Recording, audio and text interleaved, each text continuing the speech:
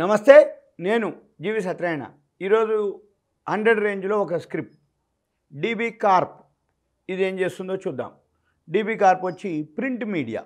ఇది దీని యొక్క print B business radio digital business vision and values చూద్దాం ప్రింట్ బిజినెస్. అంటే పేపర్ అనమాట దైనిక్ సర్కార్ ఇవి వీళ్ళ పేపర్లు. ప్రింట్ మీడియాలో వీళ్ళు ఉన్నటువంటి వాళ్ళు.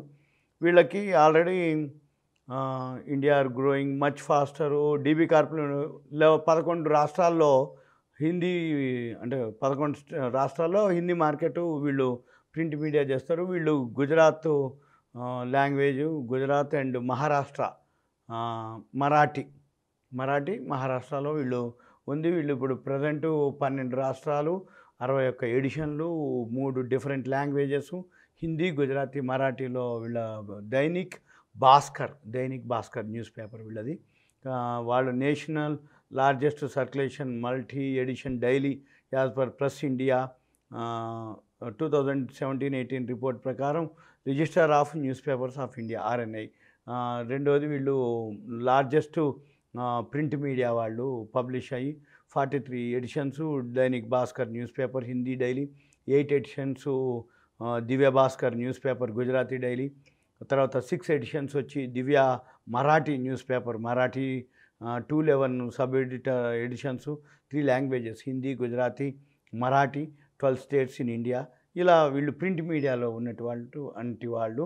దీనికి సంబంధించిన ఇన్ఫర్మేషన్ మనము ఇక చూద్దాము. వీళ్ళు ఏం చూస్తున్నారు? అంటే గుజరాతీ డైలీలో హిందీ డైలీలో ఎక్కడెక్కడ ఉన్నాయి? అంటే ఖాండ్వా భోపాల్ ఇండోర్ ఉజ్జయిన్ సాగర్ రత్లాం ఆ, గుజరాతీ వచ్చి అహ్మదాబాద్ రాజ్కోట్ సూరత్ బరోడా మరాఠీ వచ్చి ఔరంగాబాద్ నాసిక్ జల్గాం అహ్మద్నగర్ సోలాపూర్ అకోలా ఇలా అయిన తర్వాత ఈ కంపెనీ యొక్క profit and loss balance sheet చూద్దాం.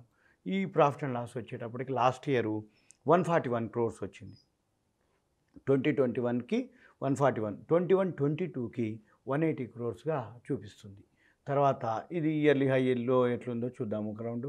పీర్స్ వచ్చి సేమ్ ప్రొడక్ట్ ఉన్నటువంటివి ఇది ప్రింట్ మీడియా కాబట్టి same network eighteen media TV today network Jagran Prakash NDTV HT media Hindustan media. ఇవి వాళ్ళు మన ప్యా- పీర్స్ వాళ్ళు.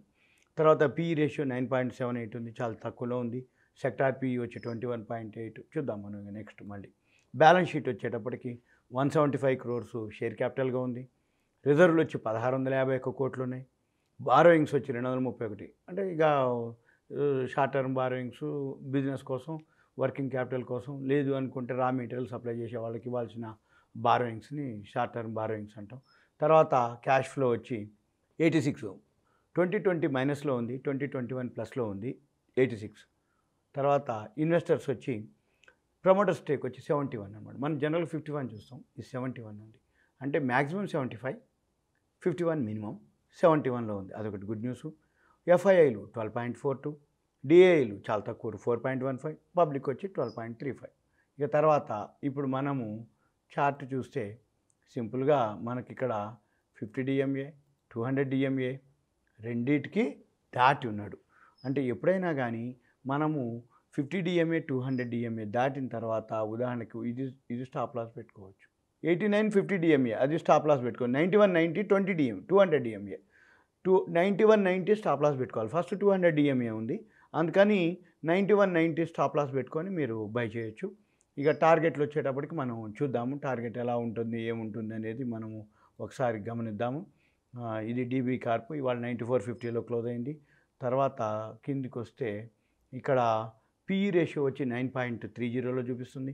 Sector PE sixteen point four five. అంటే ఓన్లీ డబుల్ ఉంటుంది. అంతకంటే ఎక్కువ కనపడట్లేదు. బుక్ వాల్యూ వచ్చి నూట రెండు రూపాయల నలభై పైసల్లో ఉంది. అంటే బుక్ వాల్యూ కూడా కొంచెం దగ్గరలో ఉంది. పాయింట్ నైన్ త్రీలో అవైలబుల్ ఉంది. అంటే ninety four fifty book price ఉంటే వన్ నాట్ టూలో ఉంది. మార్కెట్ క్యాపిటలైజేషన్ వచ్చి పదహారు వందల డెబ్బై మూడు కోట్లు. తర్వాత యావరేజ్ వాల్యూమ్ బాగా జరుగుతుంది. తర్వాత పాయింట్ ఎయిట్ టూలో బీటా ఉంది. పాయింట్ ఎయిట్ టూ అంటే ఓకే నో ప్రాబ్లం. ఇన్వెస్ట్మెంట్ అని అర్థం. ఫేస్ వాల్యూ పది రూపాయల్లో ఉంది. ఫేస్ వాల్యూ పది రూపాయలు కాబట్టి మీ ఏం లేదు. తర్వాత షేర్ హోల్డింగు. షేర్ హోల్డింగ్ ఏదైతే ఉందో సెవెంటీ వన్ పర్సెంట్. ఇది చాలా చాలా గుడ్ న్యూస్ అనమాట ఇది ఓ ఎక్కువ శాతం ఉంది. అసలు ప్లెడ్జ్ లేదు. తనకు తాకట్టు లేదు. ఇక ఇది ఎఫ్ఐఐలు డిఐఐలు ఇక్కడ చూపిస్తుంది మనకి ఇక్కడ. ఎఫ్ఐఐలు వచ్చి ఇట్లా మనం చూసుకోవచ్చు. ఇట్లా కూడా ఇట్లా పెడితే చూపిస్తుంది. ట్వెల్వ్ పాయింట్ ఎయిట్ ఫోర్ ఎఫ్ఐఐలు డిఐలు వచ్చి four point two eight eleven point eight eight వచ్చి పబ్లిక్. ఇది సింపుల్గా. ఇది దీని యొక్క. ఇక మనము గ్రాఫ్లోకి వస్తే ఇక్కడ మనం గమనిస్తే డీబీ కార్ప్ గ్రాఫు ఇవాళ చూడొచ్చు. నైంటీ ఫోర్ ఫిఫ్టీలో ఉంది. ఇంతకుముందు మనం సపోర్ట్లో అంటే R one R two R three R four resistance one two three four. ఇంతకుముందు మనం చూసింది two hundred DMA fifty DMA daily moving యావరేజ్లు. అవి సపోర్ట్లు తీసుకోవచ్చు. ఇది S one S two S త్రీలు. ఈ సపోర్టు ఇప్పుడు పైవట్ పాయింట్ పైనే ఉంది. ఆర్ వన్ పైన కూడా ఉంది. ఆర్ టూకి పోయేటట్టు కనపడుతుంది. అయితే మనం ఏం చేయాలి ఇక్కడ? Eighty six eighty. Eighty six ఎయిటీని మనము స్టాప్ లాస్ పెట్టుకోవాలి. ఒకవేళ అక్కడ ఎంత వచ్చింది మనకి ఇక్కడ అంటే గ్రాఫ్లో eighty nine twenty.